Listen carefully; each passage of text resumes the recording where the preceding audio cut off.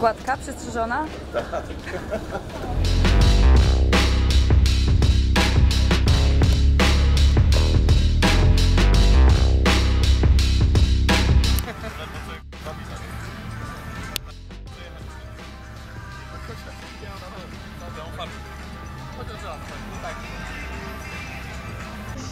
Ale dla Ciebie Mateusz będzie to chyba pierwszy mecz tutaj, co? Pierwszy, no. Jak na wielu stadionach w sumie. No ale część tam miała epizody O, jasne, w pierwszej lidze załóżmy, nie? no. Ale tutaj pierwszy, no. Tej pierwszej i co? Tak trochę wieje poprzednią epoką, co? No tak... Można by było troszkę go odświeżyć.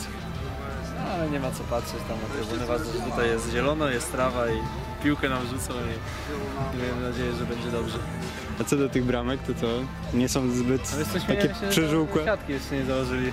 O, to nie zauważyłem. Zaraz założą, bo jeszcze trochę czasu. A po co komu siatka? Ja tak naprawdę to, nie widać ich i tak się śmiejemy.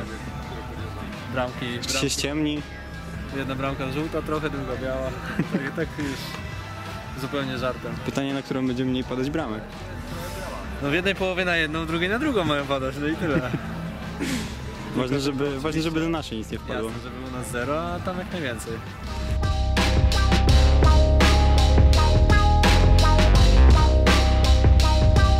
Jak tam Maciek podróż?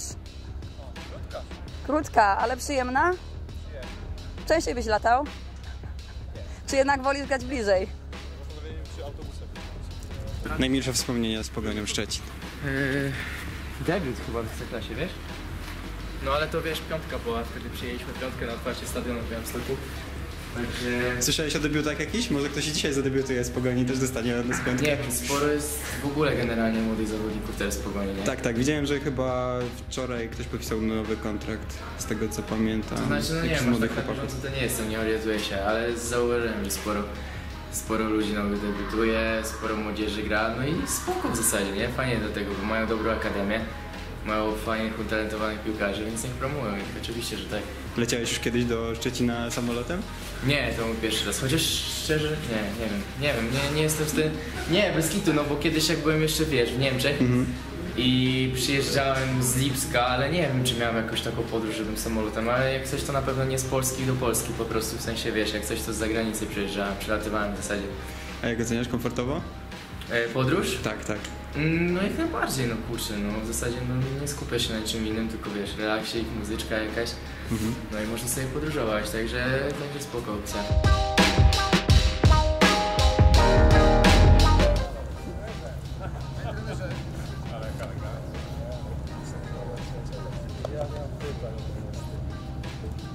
Panie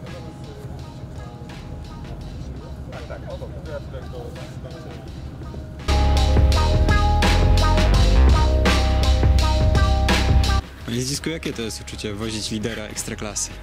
Bomba, super jest. Ale tym razem to drogi do Szczecina nie pokonali autobusem, tylko samolotem.